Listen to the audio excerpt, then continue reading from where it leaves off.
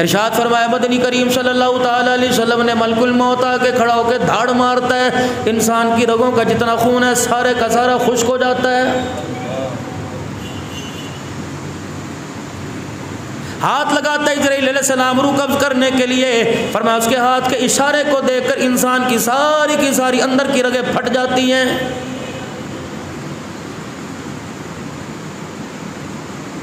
मलकुल मौत की दरवाजे से एंट्री हो गई। मकान नहीं देखता माँ बाप नहीं देखता, औलाद नहीं देखता, बुढ़ापा नहीं देखता, जवानी नहीं देखता। मेरे अजीज़ों, मलकुल मौत आके मरने वाला, जिसको लेके जाना है, उसके अज़ा को सूंघता है, उसके कंधों को, कोनियों को सूंघता है, जिसम के जोड़ों को सूंघता है। दूसरे फरिश्ते कहते, क्या सूंघ रहा है? कि मैं सूंघ रहा हूँ कि इसके अंदर से नमाज़ और कुरान की खुशबू आ रही है कि नहीं आ रही है? अगर नमाज़ कुरान की खुशबू आती है, रोज़े ज़क़़त की खुशबू आती है, फरिश्ते सबकत कर लेते हैं इसकी रूह को आसमानों पर ले जाने के लिए। अगर नमाज़ कुरान की खुशबू नहीं आती, इसे फरी, कोई फरिश्ता है इसकी रूह को हाथ में पकड़ कर आसमानों पर ले जाने को तैयार कोई नहीं होता। जिस तरह बच्चों के हाथ में एक बॉल आ जाता है, बच्चे इधर फेंकते हैं, कोई इसकी तरफ़ फेंकता है, कोई इसकी तरफ़ फेंकता है, कोई अपने हाथ में एक मिनट नहीं रखता। फरमा इस तरह फरिश्ते आपस के अंदर बॉल की तरह इसकी रूह को फेंकते जाते हैं। तू पकड़ ले, मैं लेके नहीं जाता। तू पकड़ ले, मैं नहीं लेके जाता। पहले आसमान के पास पहुँचती है, पहले आसमान के फरिश्ते और दरवाजे पर जो दरबान खड़ा है, कहते हैं, कौन सी गंदी रूह को ले आया? जिसने सारा माहौल ख़राब कर दिया। और फरिश्ते कहते हैं, खुदा का नाफरमान है, बेनमाजी है। कुरान का दुश्मन, ईमान का दुश्मन है। फरिश्ते कहते हैं, इसे ऊपर क्यों लेके आए? इसे सिज्जीन में फेंक दे, इसका आसमान पर टिकाना कोई नहीं।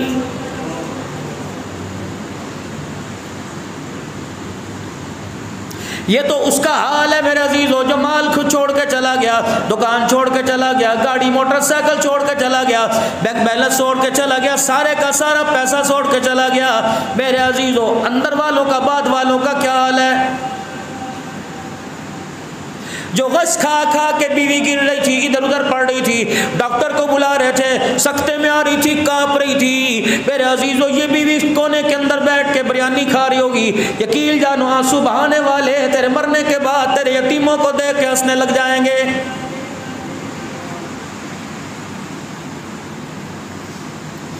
हज़ारों की तादाद में, टंडुआ दम में, टंडुआ लयार शहजादपुर से, जो बेहतरीन पकवान सेंटर होगा, उससे खाना पक के आएगा। यतीम की आँख का आँसू खुश्क ना होगा। मेरे अजीजों, चार चार हज़ार आदमी, पंद्रह पंद्रह बयानी की देगे खा के चला जाएगा।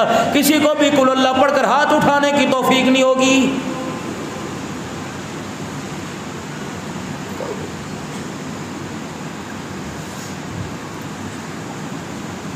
यकीन जानो जब मेरी अम्मा जी का इंतकाल हुआ, मुझे इतना सदमा हुआ, इतना सदमा हुआ, मैं गोशा नशीनी मैंने अख्तियार कर ली।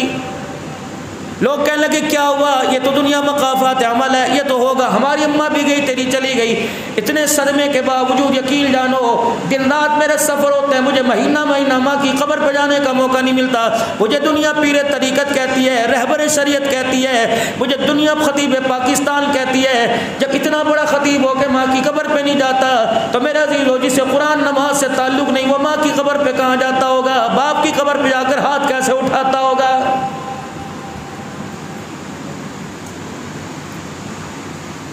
आखिरी एक ऐलान होता है हजरात। एक ज़रूर ऐलान सुनो। मरने वाले के वारसों की तरफ़ से ऐलान है। जिस किसी ने इसके वाली साहब से कोई लेना देना करना हो, तदफील के बाद हमारे से रबता कर ले। हम वाली साहब का दिल चुकाएँगे। अगर हमारे वाली साहब ने किसी से लिया, अगर किसी का कर्जा देना हमारे से रबता कर ले, अगर सारी ज़िंदगी में मेरे वालिद साहब ने किसी का दिल दुखाया, मैं हाथ जोड़ के माफ़ी माँगता हूँ। हमें माफ़ कर दो, मेरे वालिद को माफ़ कर दे। अर्श वाला कहता बनावटी नहीं चलेगी, दो नंबरी नहीं चलेगी बहन को धक्के दे के तेरा बाप घर से निकाल दे। तू बाप की जगह माफ़ी मांगे, माफ़ी नहीं मिलेगी। बाप की जदाद में से फुपियों का हक खा गया, बेटों के मारने पर। मेरे अजीजों, ये हक माफ़ नहीं किया जाएगा। जब तक बाप की जदाद में से उसकी बहनों, यानी फुपियों को नहीं देगा।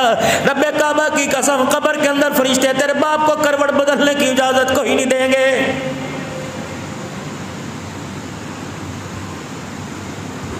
किसी गरीब को सताया होगा, किसी के मुँह पर तमाचा मार दिया होगा, बड़े मजमे के अंदर किसी को जलील कर दिया जाएगा, जब तक उसके दिल से आह निकलती रहेगी। रब काबा की कसम है, अब्बा जान का कफन भी कब्र के अंदर सलामत कोई नहीं रहेगा। हजरात, एक ज़रूरी सुनो। अगर किसी ने मेरे वाली साहब से कर्जा लेना है, तदफील के बाद मेरे से रबता कर ले। हम अपने वाली साहब का कदा करेंगे।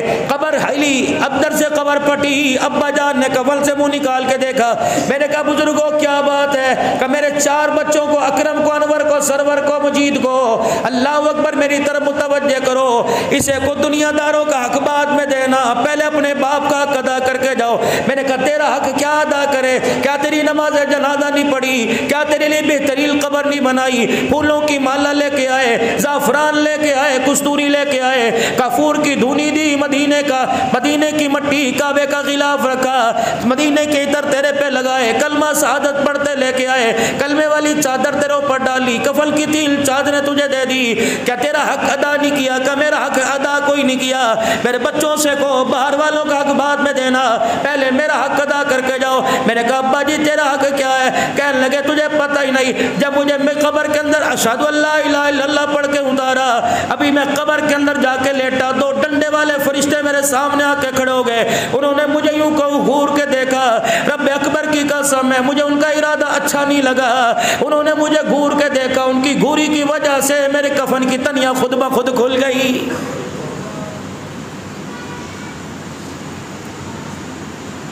फरिश्तों से गजब के बच से गजब से बचने का तरीका क्या? हिसाब किताब से बचने का तरीका क्या? कबर जन्नत का बाग बन जाए तरीका क्या? फरमाए, मेरे बच्चों को बरादरी चली जाए, परवाह न करना। दोस्त यार चले जाए, परवाह न करना। भाई चले जाए, परवाह न करना। मेरे चार बच्चों, मेरी कबर को घेर के बैठ जाओ। इतना कुरान अल्लाह का पढ़ पढ़ के सुनाओ, ताकि कबर के अंदर फरिश्तों का गुस्सा ठंडा हो जाए।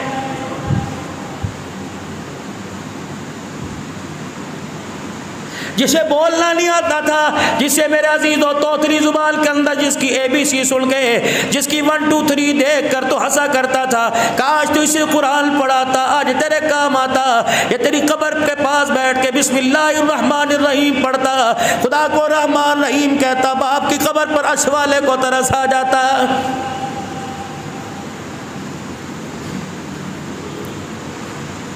एक आदमी को अजाब कबर हो रहा था। अचानक उसका कबर अजाब जजा में बदल गया। राहत की, जन्नत की, हवा की खिड़की खुल गई, बिछोने आ गए, ओढ़नी आ गई। जन्नत का लिबास आ गया, जन्नत की हवाएँ आने लगी। कहने लगा, मालिक कायनात, औलाद कोई नहीं, भाई कोई नहीं, जो आज वफादारी निभाए। जब से मरा, किसी ने कुल्ला नहीं पढ़ी सूर्य फातिया नहीं पढ़ी सूर्य तकासुर नहीं पढ़ी इलामील किसी ने सूर्य यासील पढ़ के सूर्य रमान वाक्य पढ़ के याद नहीं किया। इलाही आज कौन खैर खा है जिसने मेरे लिए हाथ उठाए, जिसकी वजह से मेरी खबर का जन्नत, मेरी खबर जन्नत का बाग बन गई। इलाही, मुझे पता कौन है? परवरदिगार आलम फरमाएगा, मैं बताता हूँ कौन है। याद कर, जब तेरा जनाजा उठा था, आखिरी वक्त था, इलाके वाले रिश्तेदार जनाजे की चरपाई उठाने के लिए आ गए थे। एक औरत मजमे को चीरती हुई औरतों को धकेलती हुई आई, और आकर दो महीने का बच्चा उसने तेरे पे ला के घेर दिया। और तुझे, तेरी चरपाई को जो जोड़ जो जोड़ के कह थी। आप तो जा रहे हो, बताओ इसका क्या बनेगा? तेरी फरियाद सुनकर, तेरा रोना सुनकर, तेरी कोक सुनकर, तेरी धाड़ सुनकर सारा मोहल्ला रोने लगा। बता, वो औरत क्या लेके आई थी? कुरान पाक, नहीं नहीं, बुखारी शरीफ, नहीं नहीं, पंसूरा लेके आई, पंजनामा लेके आई, क्या लेके आई? अल्लाह, वो दो महीने का मेरा बच्चा था। परवरदिगार आलम, मैंने उसे बेटा नहीं कहा, उसने मुझे अब्बा नहीं कहा। उसने ला के मेरे सीने पे गिरा दिया और कहने लगी, बता, इसे किसके हवाले करके जा रहे हैं? पर मैं आज उसी बच्चे ने तेरे लिए कुछ किया जिसकी वजह से तेरी कबर जन्नत का भाग बन गई। या अल्लाह, मेरे बच्चे ने क्या किया? फरमाया आज वो तेरा बच्चा चार साल का हो गया। वो तेरा यार, वो तेरा यार मदीने शरीफ गया था उम्र करने। मदीने शरीफ से टोपी लेके आया था, वो जा लियो। जी जी अल्लाह। हाँ हाँ आज वो टोपी तेरे बच बच्चे के सर पे तेरी माँ ने रखी। आज चिट्टा जोड़ा पहनाया, आँखों में सुरमा लगाया, सर में तेल लगा के कंगी कर दी। नजरे बद का काला डोरा पीछे लगा दिया। उंगली पकड़ कर सामने गली में कुतब खाने से बीस रुपए का नूरानी कायदा लेके आई। वो कायदा लेकर मदरसे में चली गई। मुफ्ती मुजीबुर रहमान साहब के मदरसे में चली गई। अल्लाह अकबर इस इदारे के अंदर आई। दरवाजे पे खड़ी होकर कह लगी, मौलवी जी, जरा बाहर आना मैंने बात सुन मैंने बात करनी है। मौलाना बाहर आए। कह लगी, मौलाना, ये यतीमों का बाल है। मेरे पास इतने पैसे कोई नहीं। स्कूल की भारी फ़ीस अदा कर सको। लोगों के बर्तन मान मान के तो रोटी का गुजारा होता है। मौलाना, तू मेरे बच्चे को कुरान पढ़ा दे। सुना, कुरान की तालीम मुफ्ती जाती है। बुखैर जक़ात, अतियात के अंदर दीनी इदारों की मामनत करते हैं। मौलाना कहने लगे जी बीबी ठीक कह रही है। अच्छा अपने बच्चे को भेज दे। अल्लाह अकबर, मेहनत हम करेंगे, दुआ तू करना। या अल्लाह, फिर क्या हुआ? फरमाया आज वो बच्चा उस्ताद जी के सामने बैठा, डस्क के ऊपर सपारा रखा, उस बच्चे की उंगली पकड़कर उस्ताद जी ने अल्लाह अकबर सिपारे पे रखी और कहा, बेटा, पढ़ बिस्मिल्लाहिर्रहमानिर्रहीम तेरे बच्चे ने आज तोतली ज़ुबान में मुझे रहमान रहीम का, मेरी गैरत को हया आ गया कि तेरा चार साल का बच्चा मुझे रहमान रहीम कहे मैं कब्र में तुझे अजाब दूँ, मैं अल्लाह की गैरत ने गवारा न किया।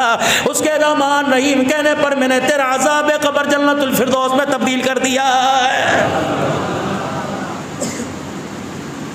जब रहमान रहीम पर उसकी रहमत का दरिया जोश मार रहा है, जिस बच्चे ने पूरा कुरान पाक सुनाया होगा, बताओ, उसके ददियाल में, उसके खानदान में, उसके इस के खानदान में, जिन्होंने मामनत की, जिन्होंने बिजली के बिल दिए, जिन्होंने खाने का इंतज़ाम किया, जिन्होंने दरियों का इंतज़ाम किया, जिन्होंने बिल्डिंग का इंतज़ाम किया रब काबा की कसम है, कुरान इसने पढ़ के सुनाया, इसके कुरान पढ़ने में जितने जितने शामिल हुए, अल्लाह ने सबकी सबकी मफरत का फैसला फरमा दिया है।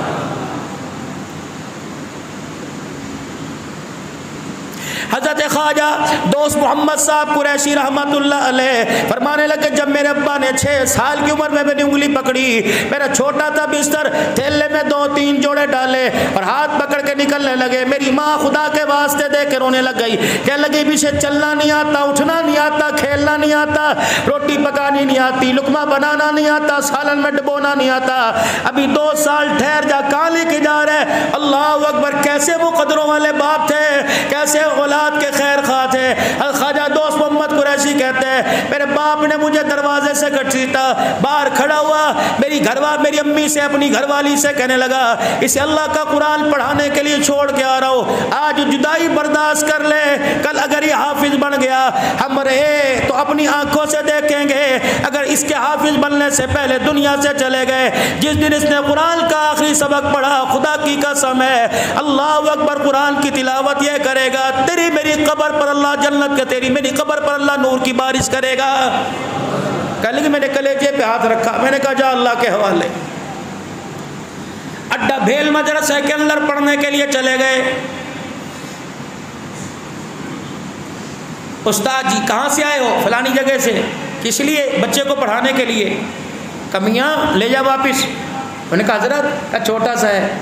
या तो पहले तालब इल्मों को आधी आधी रोटी मिलती है।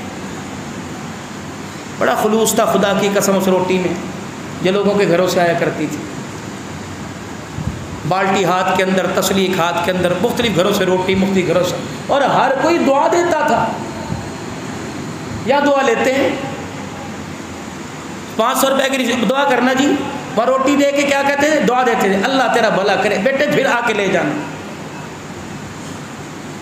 ख्वाजा दोस्त मोहम्मद कुरैशी रहमत फरमाते हैं, फरमाया, मेरे बाप ने कहा, अगर रोटी खिलानी होती तो घर के अंदर इसकी माँ है, मुझे आटे की थोड़ नहीं, अनाज की थोड़ नहीं, सालन भोड़ की थोड़ नहीं, सारी चीज़ें मेरे घर में मौजूद है। ए उस्ताद मोहतरम, इसे आप कुरान पढ़ाइए, अगर भूख की वजह से मर गया रब अकबर की कसम है, मैं तेरी तरफ़ आके उंगली नहीं उठाऊँगा। मर गया लहदा बात है, अगर रोटी मिले ना मिले, इसे कुरान का हाफिज बना दे। उस्ताद कह लेंगे, दुआ रात को उठ उठ के तू करियो मेहनत हम करेंगे तेरी नस्ल पर परवर दिगार आलम रहम फरमाएगा। अपने बच्चों को स्कूल के हवाले कर दिया, ट्यूशन के हवाले कर दिया।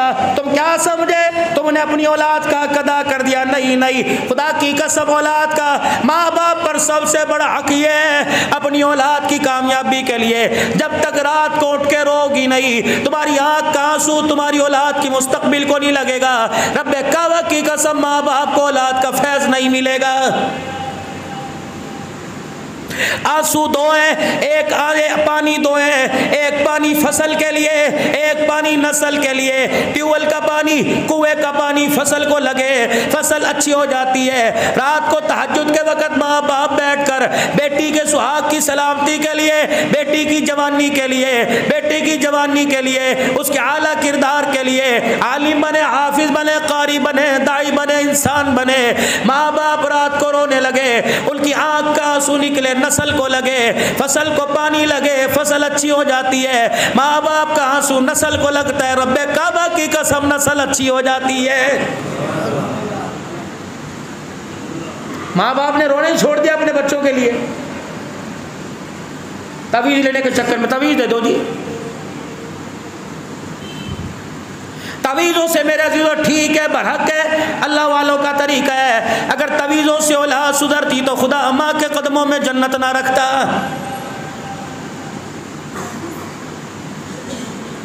दोस्त मोहम्मद कुरैशी रहमत फरमाते हैं, पहला दिन मदरसा पढ़ने के बाद दाएँ बाएँ देखता रहा जिसके हिस्से की रोटी आधी पोनी लगी थी, मेरे से मुँह मोड़ के ओठ में छुपा छुपा के खाने लग गया देनी ना पड़ जाए। पर मैं दिल बर्दाश्त हुआ, जान के लाले पड़े, भूख की वजह से मैं मस्जिद के गेट पे आ गया। मैं दाएँ बाएँ देखने लगा, दाएँ देखो अब्बा नज़र ना आए, बाएँ देखो अम्मा नज़र ना आए। मेरे दरवाजे पे खड़े होकर रोना शुरू कर दिया। सामने वाले घर का दरवाज़ा खुला।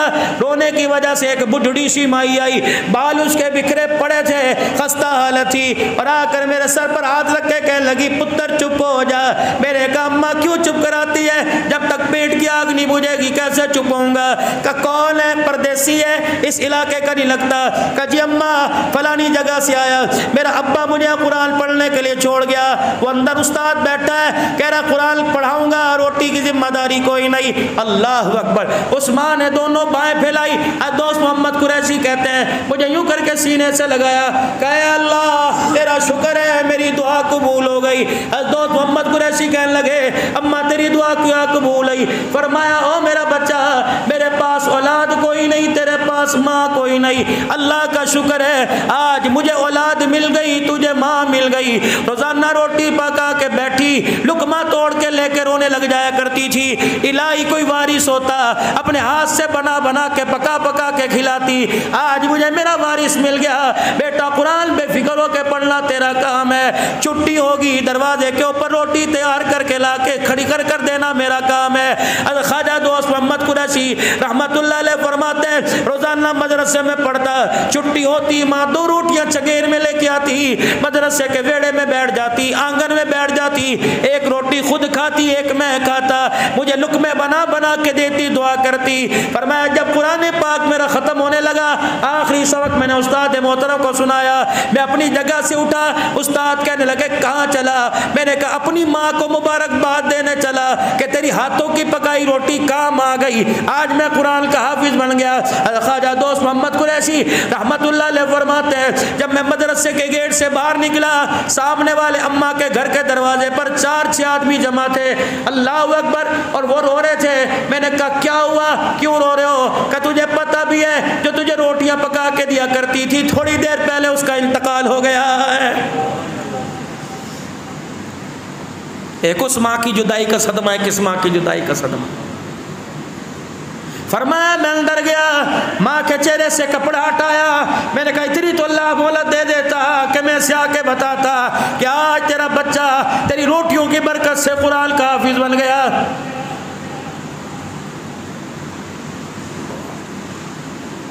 शाम के वक्त जनाजा उठा।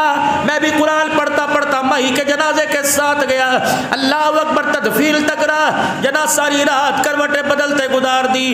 वो माँ भी याद आए जिसने दूध पिलाया। ये माँ भी याद आए जिसने रोटी पका के दी। दो माओ से जुदा हो गया। सारी रात रोता रहा। सुबह फजर की नमाज़ के बाद कुरान खोल के बैठा। मोहल्ले में शोर होगा हुआ। सारे मदरसे वाले दरवाजे के पास गए। देखा, उसी दरवाजे के ऊपर एक नौजवान खड़ा है। वाह वाह वाह वाह, इस औरत का क्या कहना? अल्लाह ने इसके सारे गुनाहों को माफ़ फरमा दिया। जन्नतुल फिरदौस में जगह अता फरमा दी। खाजा दोस्त मोहम्मद कुरैशी कहते मैं गया। मैंने उस नौजवान का पल्लू पकड़ा, कुर्ते का दामन। मैंने कहा, बुज़ुर्ग, बता, बताओ मेरा भाई, इस औरत की बख्शिश कैसे हुई? कहा, मैं भी इसके जनाजे में शामिल था।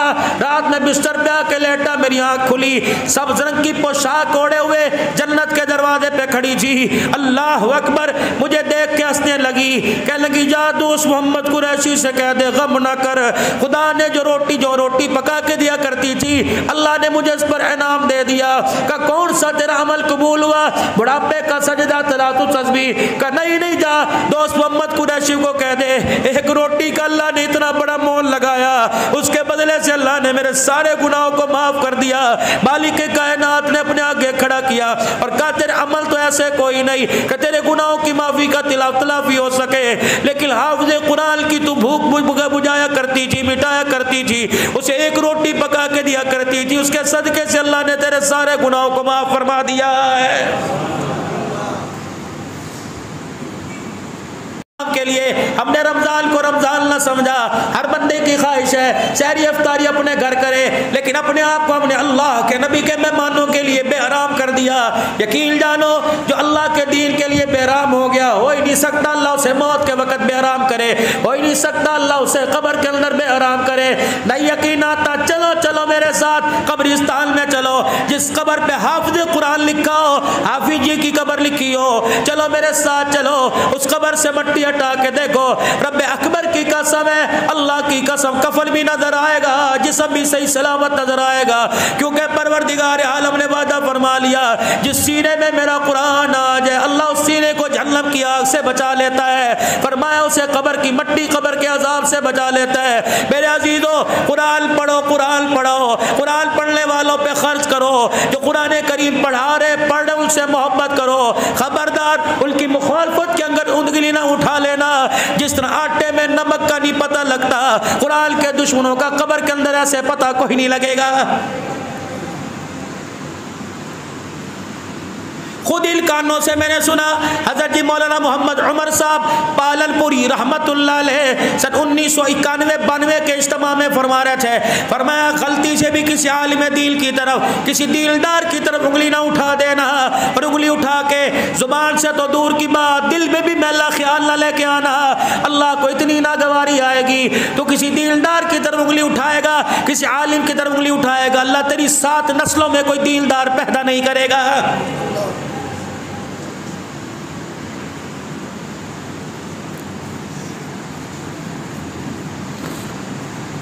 बाप कहते हैं, तुझे डॉक्टर बनाने के लिए पता है मुझे क्या करना पड़ा? मकान बेचना पड़ा। तेरी फ़ीस के लिए, तेरे एक एक सेमेस्टर के लिए मुझे गाड़ी बेचनी पड़ी। एक करोड़ रुपया मैंने तेरे पे लगाया। अल्लाह अकबर। लेकिन हाफज कुरान के लिए आपने क्या खर्च किया? माँ, कपड़े इस्त्री करने को तैयार नहीं। बहन रोटी पका के देने को तैयार नहीं। और लोगों, आपने देखा होगा, बस स्टैंड के ऊपर शलवार का एक पैचा ऊँचा, एक नीचा, अस्पत की चपली टूटी पहनी हुई, टोपी पिंगी टेढ़ी सिर के ऊपर एक बखी हुई, बिखरे बाल एक पन्नी में शापर के अंदर दो जोड़े लेके खड़ा है। इसे हकीर ना समझना, इसके पास खड़े होकर दुआ कराना, इसके हाथ उठवा लेना, इसे हकीर ना समझना। अल्लाह अकबर, गाड़ी रुके, अगर इसे जगह ना मिले से अपने पास बिठाना, इसके लिए खड़े हो जाने से सीट देना। और तुझ इसी से इसकी हैसियत के क्या जाने? रब काबा की कसम है, जो कुरान को सीने से लगा लेता है, वो काली कमली वाले का मेहमान बन जाता है। फरमाया, जब हालात तेरे मुखालिफ चलने लगे फरमाया, जब हर तरफ़ से गर्म हवाओं के जो कहने लगे, किसी मदरसे में जा कुरान पढ़ने वालों के हाथ उठवा ले, अल्लाह जल्ला शाह को इनके नन्हे नन्हे हाथों का बड़ा हया आता है ये आपका जंग का इलाका। खुदा तुम्हें तोफीक दे। अट्ठारह हजारी एक मदरसा अट्ठारह हजारी। हकीम अब्दुल लतीफ़ साहब नक्शबंदी रहमत दुनिया से चले गए। अल्लाह अकबर। खलीफा गुलाम हबीब साहब नक्शबंदी रहमत के फैज याफ्ता। बहुत बड़े अल्लाह वाले थे, बहुत बड़े। वक़्त का वली गुजरा। ढाई सौ तालब न मदरसे का कोई सफ़ीर, न मदरसे का कोई रसीद अल्लाह गनी। बवर्ची आया रात के वक़्त। हजरा जी का जी जी का आटा ख़त्म खत्म हो गया। सुबह नाश्ते के लिए तालब इलमों का इंतज़ाम कोई नहीं। गुस्से में आए। कहने लगे, अपनी जंगली ज़ुबान में, जंगी, जंग ज़ुबान में मैंने मेहमान हैं। उन्होंने कहा, नहीं जी कजिद हैं को आख। मुझे क्या कहता है? अल्लाह अकबर। और कहता है, मैं दिल बर्दाश्त हुआ। मैंने खुद के अंदर अल्लाह की कसम आकर सुना, इसनात खान का घर वही है। अल्लाह अकबर, देखो ज़िंदा वली की करामत। बौरची कहने लगा, मैं खानका के सामने लेट गया। मैंने कहा, सुबह दो सौ तालिब इलम दरवाजे पर आएँगे, कहाँ से नाश्ता दूँगा?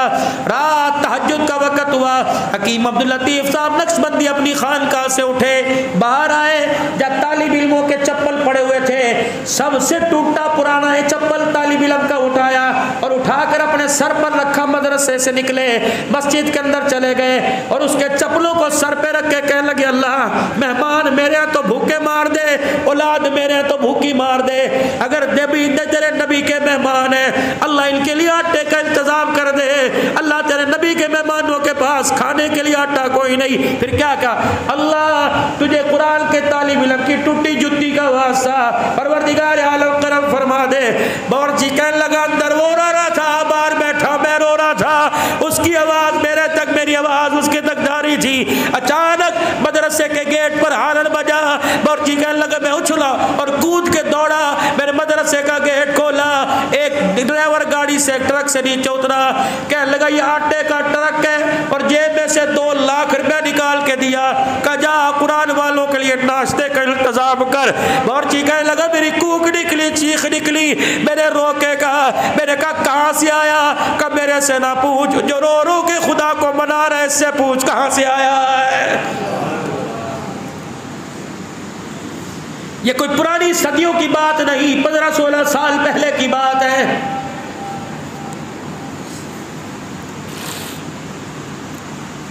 कबील की तरफ़ पहली आँख से ना देखना, ओए लोगो, अल्लाह अकबर, किसी का ताल्लुक नाजिम के साथ, किसी का ताल्लुक सरदार के साथ, किसी का M P M N A minister के साथ है, कुरान वालों का ताल्लुक मुस्तफ़ा के साथ है अर्श वाले खुदा के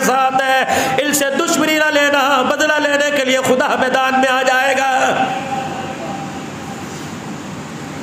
कहाँ गई वो लाल मस्जिद? कहाँ गए वो लाल मस्जिद के तालिब कहाँ गई वो लाल मस्जिद की तुलबा? अल्लाह की कसम, इसाक ने देखा, सेक्टर सिक्स के अंदर मुझे एक साथी ले गया। कह लगा मौली साहब, ये 24 घंटे के अंदर कब्रिस्तान बना, सैकड़ों कब्रें। अल्लाह की कसम, वो कुरान पढ़ती पढ़ती चली गई अल्लाह के कुरान के सारे कब्र में लेटी हुई है और जिसने उन्हें कब्रों के अंदर पहुँचाया, अल्लाह की कसम खुदा उसे बिस्तर से उठने की भी इजाज़त कोई नहीं दे रहा है। जो पाक सर जमील का, सरहदों का, पूरी फौज का मुहाफिज था रब काबा की कसम उसे इस मुल्क में दाखिले की इजाज़त कोई नहीं। करो कुरान से बगावत।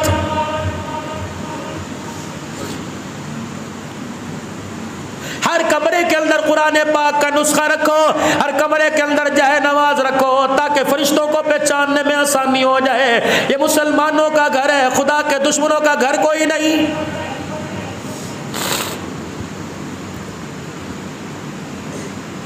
बेटों के लिए दुकान खोल के बैठा है। क्या कह रहा है? अजी, मेरा बेटों का मेरे हक है। मैंने अल्लाह को जवाब नहीं देना। ये मेरे बच्चे हैं, इनकी रोटी का इंतज़ाम कौन करेगा? बीवी का मेरे पे हक है। मैंने खुदा को जवाब नहीं देना। जिस तरह बीवी का तेरे पे हक माँ बाप का मेरे पे हक, औलाद का मेरे पे हक, बरादरी का बहन भाइयों का, कुरान का भी तेरे पे हक है। अल्लाह की इज़्ज़त की कसम है। जिस तरह बाल बच्चों के लिए खाना तैयार करता है, कुरान पढ़ना भी तेरे पे हक है। पर मैं अगर कुरान का इनकारी बनता है, कुरान सामने अलमारी में ज़िंदगी में पढ़ के नहीं देखा। पर मैं सारे गुनाहों से बड़ा कबीरा गुना है। जो कुरान पढ़ने की कोशिश भी नहीं करता, कुरान जानने की भी कोशिश नहीं करता, पर मैं जिस हालत के अंदर फिरता रहेगा, कबीरा गुना का मुर्तकिब होता रहेगा।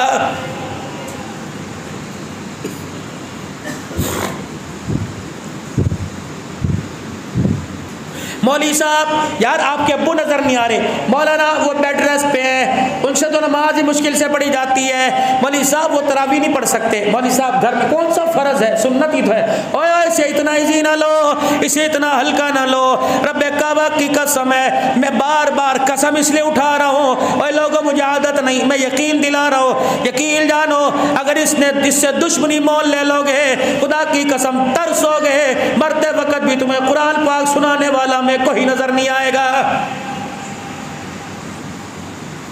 आखिरी वक्त है। अम्मी ने फ़ोन करा दिया बेटी को, मुल्तान में भी आई कराची भी आई अबू की आखिरी साँसें चलनी है, फिर ना कहना इतला ना दी। इसे किसी गाड़ी में जगह ना मिली, दरवाजे के पास कपड़ा बिछा के बैठ के आई। बैग कितनी फट गई बैग सर पे उठा के लाई, सीधी अस्पताल आई। अबू अबू अबू आके पड़ गई। अबू जी अबू जी, भाई डॉक्टर क्या कहते हैं? मैं डॉक्टर से बात करूँ, क्या चाहिए डॉक्टरों को? किसी अच्छे अस्पताल में ले अगर सबर तो कर। नहीं नहीं नहीं नहीं। अल्लाह अकबर अबू देख रहे अबू बोलते क्यों नहीं? अबू मैं आपकी लाडो अबू मैं आपकी फलानी बेटी। अबू बोलते क्यों नहीं? आपके नहीं से यूँ करके आँसू निकल रहा है। मैं अबू आपको शरबत पिलाऊं। अबू मैं आपके लिए शरीर लेके आऊँ। अबू मैं आपके लिए फलानी सब्ज़ी लाऊं। मेरे हाथों की रोटी बड़ी पसंद है। क्यों देख रहे रले टपक रही है। अल्लाह अकबर। पास बेटे खड़े हैं। बहन हमने डॉक्टर को कहा, इस चेक पे तब लिख दे, साइन करके देते हैं। जितने मर्ज़ी पैसे ले ले। अब देख। भाई आया, कोई फ्रूट की थैली, अब्दुल हन्नान मिलने गया, जूस के डब्बे ले गया, अल्लाह यही पड़ा मैंने कहा, क्या बात है? ना बोलता, ना चालता, ना देखता, ना हरकत करता।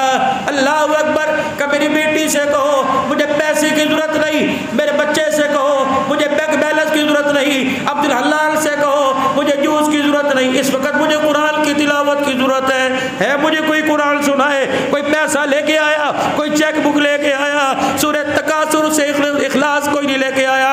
ओए, मेरे बच्चों, मेरी रूह यहाँ फंस गई। फरिश्ते मेरे पैरों पे सोटे मार रहे हैं। मुझे कुरान पढ़ के सुना हो ताकि मेरी रूह आसानी से निकल जाए।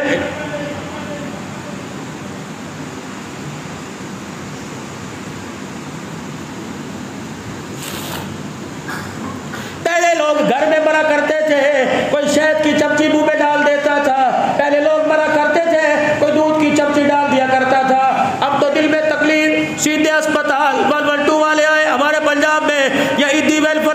वाले ले गए अस्पताल में। भाई लिख दिया इंतहाई निगहदाश्त भाई लिख दिया, आईसीयू। मेरा भाई 2010 में फौत हुआ। अल्लाह अकबर कैंसर का मरीज़ था, जवान गबरू। बाप की जुदाई तो सन बयासी में मिल गई थी। माँ बीमार थी, मेरे भाई ने बताया कोई नहीं। आखिरी दफ़ा उम्र पे गया। अपने भतीजे को भतीजी को बताया, मुझे कैंसर है। जब नाक में से खून निकलने लग गया कि मदीने में इसलिए आया हूँ। पता मदीने की मट्टी में शिफा है अल्लाह शिफा था फरमा दे। खजूर जमजम, सारी खाई, लाहौर एयरपोर्ट पे उतरा। सीधा शेख जैद चला गया। मुझे इतला मिली। मैं भी अपनी जगह छोड़ के, अपनी खिताबत छोड़ के आया। मैंने कहा मुझे अंदर जाने दो। कहा, नहीं, बस आप दुआ करो, आखिरी साँसें चल रही है। वेंटिलेटर वेंटिलेटर पर है। मैंने कहा, मुझे एक मरतबा अंदर जाने दो। मैं ज़बरदस्त अंदर घुस गया।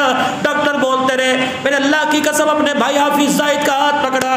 मैंने कहा हाँ हाँ बोल बोल। उसने कुछ ना बोला। इस तरह सांस ली। मेरे पास बैठ के सूर्य यासीन पढ़नी शुरू कर दी। उसने मेरा चेहरा देख के हंसना शुरू कर दिया। मैंने कहा, डॉक्टर साहब, इसे वेंटिलेटर की ज़रूरत नहीं, इसे कुरान की तिलावत की ज़रूरत है। उधर मेरे सूर्य यासीन पूरी सुनाई। उधर मुस्कुराता हुआ दुनिया से रुखसत हो गया। मौलाना, मुझे पता ये तो सही, हमारे घर के अंदर मौत हो, सबसे पहले उठा के वहाँ पहुँचा देते हैं। गुसल दे के वापिस आ जाएँगे। आधा घंटा मैयत पहले वापिस आई।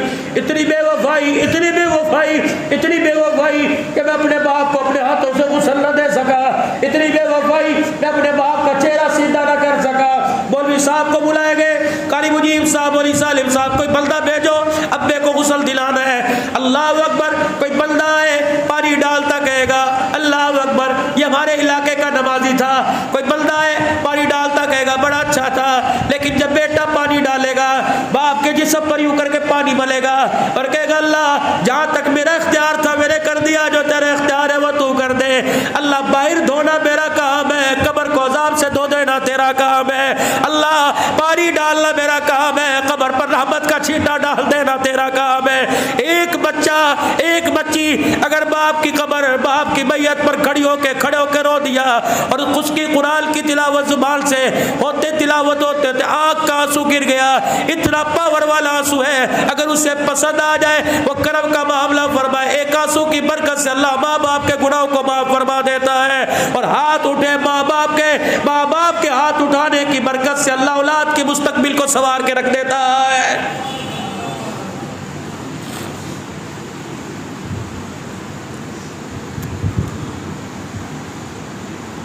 मुझे माओ से बड़ा गिला है, मुझे आपसे भी बड़ा गिला है। हमारे बच्चे की शेप बढ़ जाए, दो सौ रुपया देते हैं। जा हालत सवार के जानवरों जैसी शक्ल बना रखी है। अल्लाह अकबर, खुदा जब जानवर की मौत मारेगा तरसोगे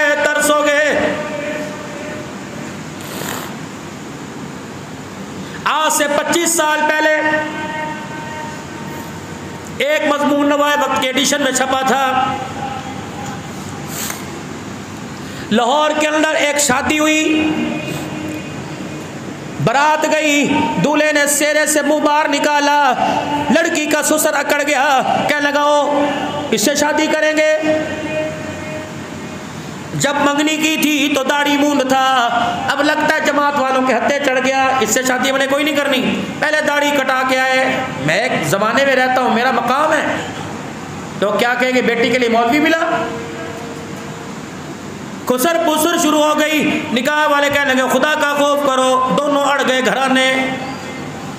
बिल आखिर, लड़के वालों ने हथियार डाल दिए बदरामी है दोनों घरों की, बेटे से कहा। बेटा, दस मिनट की बात है, आज मान ले, फिर घर आई, तेरी सरदारी है, ऐसा कर, दाढ़ी कटाना छोटी छोटी करा के अल्लाह, बेटे ने बाप को देखा, माँ को देखा, कम्मी क्या हो गया? अभी तो मरा करके आई थी, अब्बू अभी तो मरा करके आए थे। अब्बा जान, हुजूर के रोज़े पे खड़े होकर दरूद सलाम पढ़ के आप भी रो रहे थे और कह रहे थे, मदीने की मौत दे, मदीने की मौत अच्छी लग रही है मदीने वाले की दाढ़ी कहने कटा गया। अल्लाह अकबर। उन्होंने कहा, बेटे, क्या करूँ? इज़्ज़त का मसला है। बेटे ने सर से सेरा उतारा, हार उतारा। हाँ सेरा उतारा। कहा, आप दस मिनट बैठिए, मैं भी आता हूँ। कहा जा रहा है दाढ़ी कटाने का? भी आता हूँ। अल्लाह। शादी वाली जगह जब बारात ठहरी थी, वहाँ से निकला। थोड़ी देर आगे गया, कचरे का ढेर था, अपना हार उतार के उसके ऊपर फेंक दिया। अल्लाह। का जो निकाह गुस्ताख रसूल बना दे, उससे कबारा रहना ही बेहतर है। कहते, लाहौर से छोड़, छाड़ के कराची अकेला आ गया। मोहल्ले में बहाने से फ़ोन कर लिया करता है माँ बाप कैसे हैं? रोडों पे ज़िंदगी, फुटपाथों पे गुजारी, किसने दिया, खा लिया, किसने तर्स किया? कहीं से खबर मिली, माँ बीमार है, आखिरी साँसें चल रही है। अल्लाह बस मरता क्या ना करता, अम्मा की जुदाई का सदमा बर्दाश्त न किया। कराची स्टेशन पर आया, गाड़ी में बैठा, टिकट कोई नहीं, ले दे के जिस तरह भी पहुँचा पहुँचा होगा। रात के वक्त सर्दी का मौसम था, अल्लाह अकबर। रात के वक्त सर्दी का मौसम था, गाड़ी लाहौर के स्टेशन पे रुकी, बाहर निकला, सामने ऑस्ट्रेलिया मस्जिद है जब जमाते जाके कराची से दाएँ बाएँ से रुकती है। सामने ऑस्ट्रेलिया मस्जिद है, सर्दी में थर थर काँप रहा था। हमारे कहते पो माह का शिद्दत की सर्दी का महीना था। मस्जिद में गया, फर्श ठंडा था। मस्जिद की दरिया सफ़ेद लिपटी पड़ी थी। एक दरी उठाई, अपने ऊपर लपेट के बैठ गया कि सुबह होगी दूध खत्म होगी तो मैं घर जाऊँगा। लेट के बैठ बैठ गया, लपेट के बैठ गया। थोड़ी देर के बाद एक गाड़ी, बड़ी नहीं, गाड़ी दरवाजे पर रुकी। गेट खुला, अल्लाह अकबर के आदमी बाहर निकला और निकल के सीधा मस्जिद के अंदर गया। दाएँ बाएँ देखने लग गया। वो कह रहा, सफ़ों में मैं चुपके से देख रहा था, कौन है? वो मुझे तलाश कर रहा था, मैं उससे डर रहा था कि इंतजामिया मस्जिद में ना हो, मुझे मस्जिद से बाहर चोर समझ के निकाल दे। कि वो आहिस्ता आहिस्ता मेरे करीब आया, मेरा दिल धड़का और उसने आकर मुझे देखा। मैं सब में यूँ करके काँप रहा था, उसने मेरे से सब परे की और मुझे देखा का कहाँ छुप गया था, तुझे तलाश करते करते इतनी देर हो गई। हाथ पकड़ा, मैंने कहा, कौन? का चुप, सवाल न मेरे साथ चुप कैसे चल? करोता जाता, मुझे अपनी गाड़ी के आके बिठाया। बिठाने के बाद घर ले गया। अपने कमरे में कंबल हीटर लगा के बिठाया। कब बता किस चीज़ से तेरी जियाफत करूँ? अल्लाह अकबर। क्या खाएगा? का कुछ नहीं। कि मैं डर गया, पता नहीं कौन है। अल्लाह अकबर। का फिर आया, अलमारी खोली। कपड़े टके हुए थे। का सुबह बता, कौन सा जोड़ा पहल के दूल्हा बनेगा? मैंने कहा, बस बस, मज़ाक ना कीजिए। यहाँ तो कोई रोटी नहीं देता। गाड़ी का किराया कोई नहीं। आप कह रहे दूल्हा कौन सा बनेगा? का अगली बात बाद में बताऊँगा। पहले बता क्या अमल करता है? कि तेरा सिफारशी काली कबली वाला बन के आया है। उसने कहा, क्या हुआ? कब मैं तो अपने घर में सो रहा था। अचानक मेरी आँख खिली गुब्बद खजरा कमे की मेरे ख्वाब में आया। पर मैं तेरा गर्म बिस्तर, तेरा हीटर कब काम आएगा? मेरी सुन्नत पर फिदा होने वाला, मेरा दीवाना ऑस्ट्रेलिया मस्जिद में तने तना बैठा है, उसके पास कपड़ा कोई नहीं। जा जा, उसके लिए खाने का इंतज़ाम कर, उसे ले गया, मेहमानों शहजादों की तरह ला, और कल सुबह उसकी अपनी बेटी के साथ उसका निकाह कर देना। अगर वो ना करे तो कह देना, दुनिया के लिए लड़की माँ बाप पसंद करते हैं लड़की आमना कलाल पसंद करके चला गया है। रब काबा की कसम जो इन चार बालों का ख्याल करे, आमना कलाल खाब में आके मुबारकबाद दे। जो चौबीस घंटे की ज़िंदगी में दिल ज़िंदा करेगा, हुजूर के तरीकों पर फिदा होगा। रब काबा की कसम, अल्लाह दुनिया में भी इज़्ज़त फरमाएगा। और क़यामत के दिन मैदान माशर में कबली वाला हाथ पकड़ के हौजे कौसर के ऊपर लेके चला जाएगा। बस मेरे भाइयों, दोस्तों, बुज़ुर्गों, इससे बड़ी मैं क्या बात बताऊँ? मेरा अब सफ़र करना है। कहाँ मुल्तान, कहाँ कल मेरे नारोवाल और सियालकोट में पहुँचना है? अल्लाह अकबर। लेकिन मेरे अजीजों, आप हजरात को छोटा मुँह बड़ी बात तुमने मुझे इज़्ज़त दी। बोला सालिम साहब, आपका शुक्रिया। बोली वजीब रमान साहब, आप मुझे यहाँ लाए, अपने बिम्बर पर आपने बैठने की जगह दी। आपका एहसान मैं ज़िंदगी भर नहीं उतार सकता। लेकिन मेरे वीरों, अल्लाह की कसम, इन आंसुओं की कदर कर लेना। है पानी? पानी तेरी आँख में भी आया, पानी मेरी आँख में आया। अल्लाह अकबर, एक पानी गलियों में बह रहा है, उसकी कदर कोई नहीं। इस आँख के आँसू कितनी कदर है? पूछ लो। बोली साहब हदीस में निकाल के दिखाएँगे।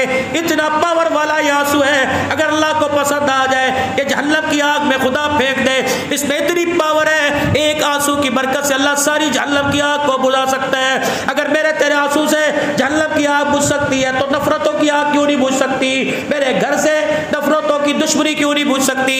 अल्लाह अकबर, मस्जिद के अंदर नमाज़ पढ़ने के लिए आए, सफ़ों को देख रहे दस कितनी है, फ़र्ज़ को देख रहे मोदी साहब पोचा नहीं लगाया, अल्लाह कहते औकात में रहे, इस मट्टी पर तेरी नमाज़ हो जाएगी। जो बहनों के, भाइयों के फूफियों के लिए नफरत के पहाड़ दिल के अंदर खड़े कर रखे हैं। पर मैं जब तक वो नहीं ढाएगा, मैं अल्लाह तेरा सजदा कबूल कोई नहीं करूँगा। आज मेरे अजीजों पच्चीसवीं रात है। रोना धोना बाद में अगर फकीर की बात मानो, सुखी ज़िंदगी गुजारो। मेरे अजीजों, आज सबको बैठे बैठे माफ़ कर दो। हाँ अगर तुम हक पर हो तब भी माफ़ कर दो। अरस की अल्लाह के नबी सबसे बेहतरीन सदका कौन सा? उलमाम ने फरमाया, वहाँ से गुंबद खजरत से सदाई, गरीब हो वो रिश्तेदार तेरे से नाराज़ हो, उस इलाके में, बरादरी में, पाड़े में कोई उसे अहमियत ना देता हो, कोई उसकी हैसियत ना हो। फरमाया, वो तेरे से नाराज़ हो। फरमाया, अपनी अपनी गाड़ी उसके दरवाजे पे जाके रोक, उसे पहले कपड़ों के साथ गले से लगा ले। हाँ हाँ अपने घर का राशन, अपने घर की जक़ात, अपने घर की खैरात एहसान समझ के नहीं हमदर्दी समझ के दिया। रोटी पेट में जाएगी, कलेजा ठरेगा निगाह आसमान की तरफ़ खुलेगी, मुँह से दुआ निकलेगी, अल्लाह तेरे मेरे लिए जन्नत के दरवाजे खोल देगा।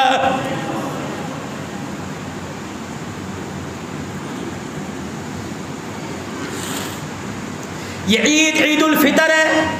गरीबों को शामिल करो, अपनों को शामिल करो, बैल भाइयों को शामिल करो। ओ मेरे वीरा ना ईद का इंतज़ार कर ना चाँद रात का इंतज़ार कर मोटरसाइकिल पे बैठ के चला जा जिस भाई से दो साल हो गए मुलाकात नहीं। आज जाके दरवाज़ा बजा कब पच्चीसवीं रात है, ललतुल कदर की रात है। रहमत मेरे घर के ऊपर बरस रही है, मेरे पे नहीं बरस रही। असीरे से लग जा, माँ जाया, माँ जाए के साथ मिलेगा।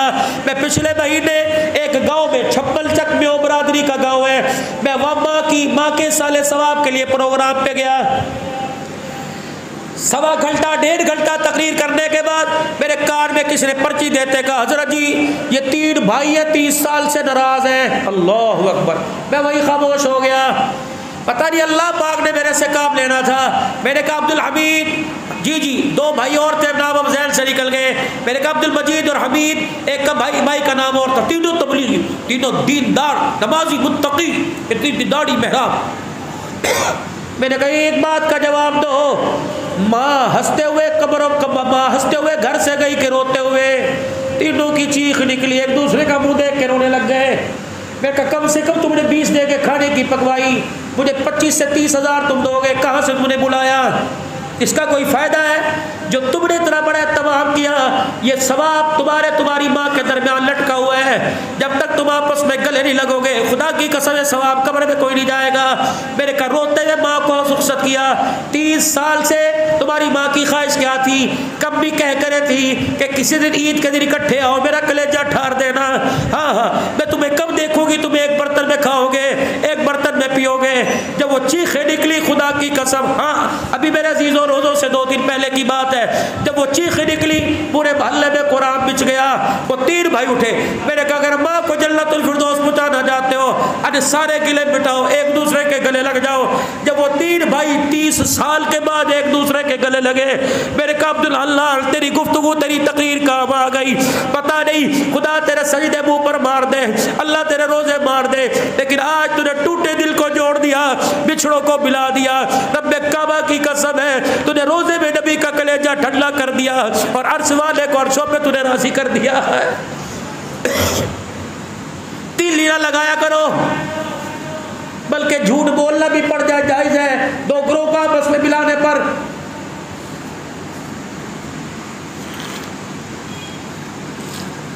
दरिया आखिरी बात दरिया करम जोश में आया।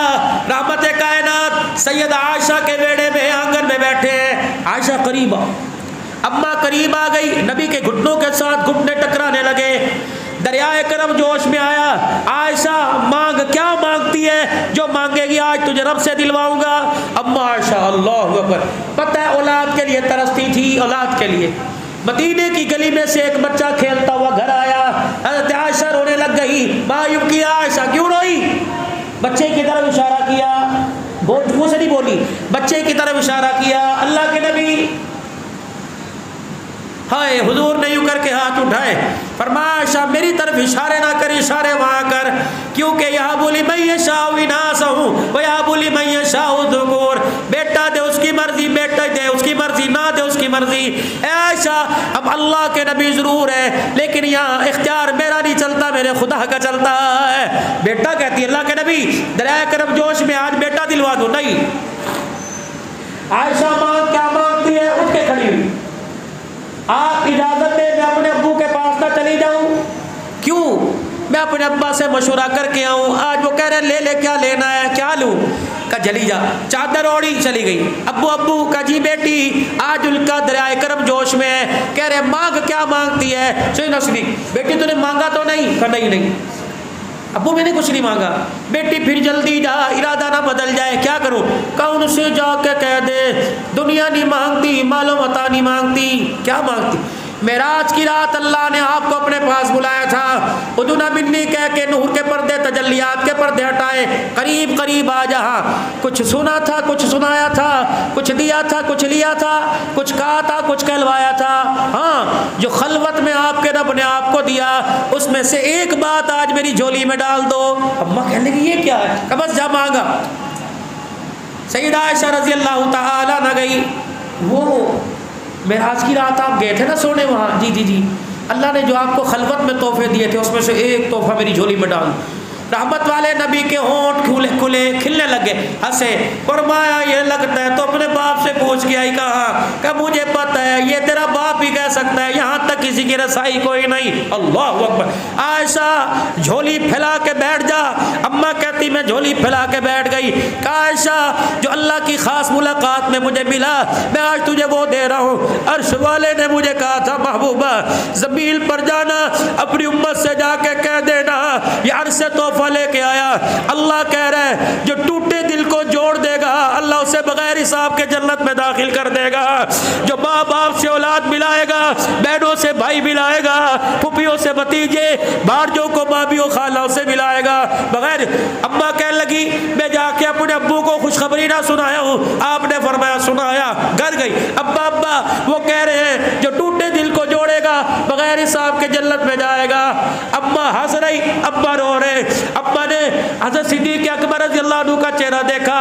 अब्बा रोने की कोई बात है? ये तो हंसने की बात है। का बेटा, वो तो बहुत मुशफिक नबी है। उसकी रहमत वाली चादर वसी है। उसने कह दिया, जो टूटे दिल को जोड़ेगा, बगैर हिसाब के जन्नत में जाएगा। बेटी, उसका उल्ट पड़ के देख। जो जुड़ो वो को तोड़ देगा, वो कहा जाएगा? गरीब की बेटी, दुल्हन बड़ी बैठी है। उसके बाप की दावत पर आके रोटी खा के उसी की बेटी के गिले। अजी आपने रिश्ता करते हुए किसी पूछा नहीं था? और क्या हुआ? बस बस, पर्दे डालने चाहिए। ये बस बस में इतना बड़ा राज खोल दिया। सारी ज़िंदगी उसका सर झुका दिया। बाप बड़ा, ताए चाचे रिश्ते के लिए खड़े हो गए। माँ गई और जाके कहा, क्या करना रिश्ता आया? कहा हाँ हाँ हम भाई मशुरा करेंगे। ये जक़ात के दस हज़ार रुपए ये जक़ात के दो लाख रुपए अल्लाह अकबर। चार बच्चों की माँ सर झुका के फिर रही है। मेरे कब भी बैल क्या हुआ? सर क्यों झुका के फिर रही है? कह लगी, बारात वाले दिल चाचे ने इतना जलील किया था, मुँह उठाने के काबिल ने छोड़ा। ओह, क्या कहा था? कि जब बारात आई, बिल्ली हुई। ताया जी ने कहा कहा, हर बराती को जाके कह रहा था, ये तीन थी भाई, इसका चो मेरा भाई छोड़ के मर गया। ये सारा इंतज़ाम हमने किया। अगर कभी रह जाए, नाराज़ ना होना। फर्नीचर बड़े ने दिया था, सेट बड़े ने दिया था। कई इतने इतने देने के, देश के ताने के थप्पड़ मारे। मुझे ससुराल के अंदर सर उठाने के काबिल नहीं छोड़ा। मुझे रोज़ाना ताने मिलते हैं। जक़ात के पैसों से ब्याह की आई। इसकी क्या इज़्ज़त होगी? खुदा के वास्ते अल्लाह तुम दिलू सदकाती को बिल बद्दी वलजा देकर जतलाया मत करो। देकर एहसान मत जतलाया करो।